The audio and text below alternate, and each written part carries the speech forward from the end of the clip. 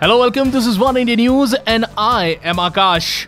It was a nail biter match between India and England that was being played in Nagpur. It was the second match of the three match series of T20, and India has clinched the second T20 to level the series 1 1.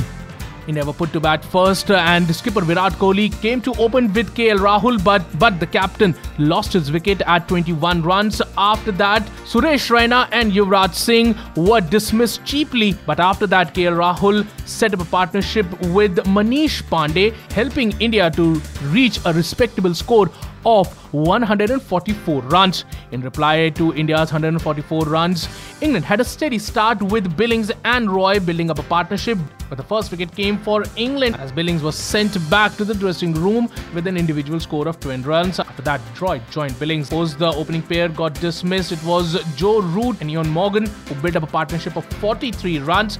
But after that, it was Morgan who was dismissed at the score of 17. Post that, Ben Stokes came to the crease and created a 52 run partnership with Root. But post that, there was no big partnership. So, after 20 overs, England managed to make 139 runs. Thus, India has leveled the series 1 1. So that's all for now, but for more news and updates, log on to oneindia.com and please don't forget to like and share this video. Also, don't forget to subscribe to One India News YouTube channel.